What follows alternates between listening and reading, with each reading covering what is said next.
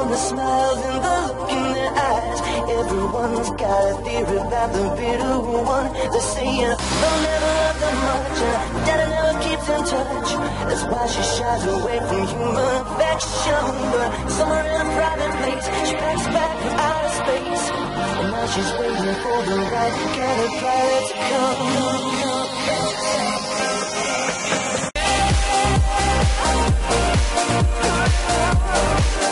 We'll be right